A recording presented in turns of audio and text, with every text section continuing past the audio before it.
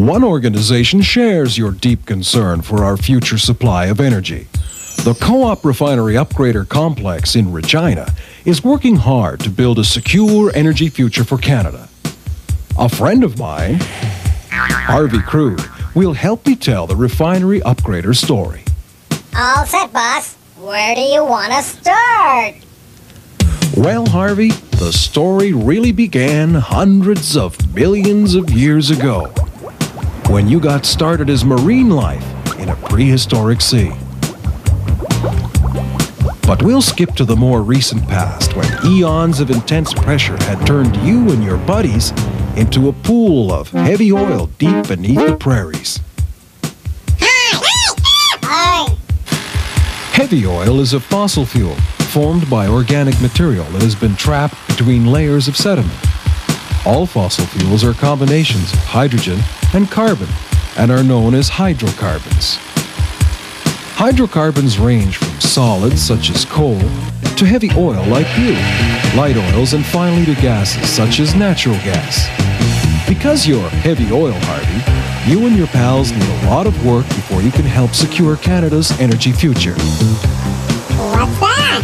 Hey! Oh, what's happening? Hey! We're getting out!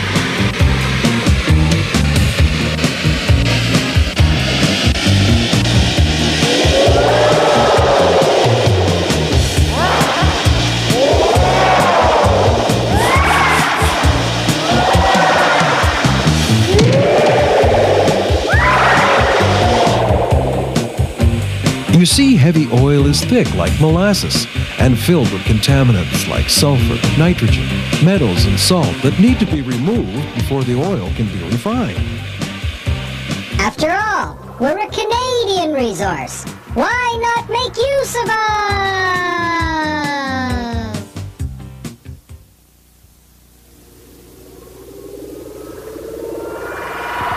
Here I am. So, what happens now? Whoa!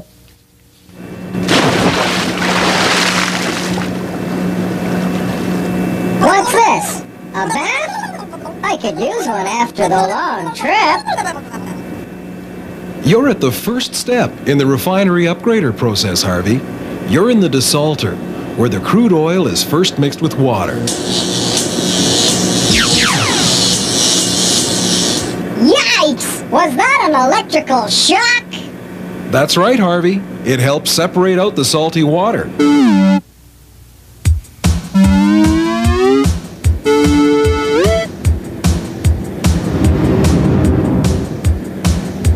Ah, first I get a bath. Now it feels like I'm in a sauna. Yes, Harvey, we want you to be nice and warm before we move you on. You're in the crude unit heater.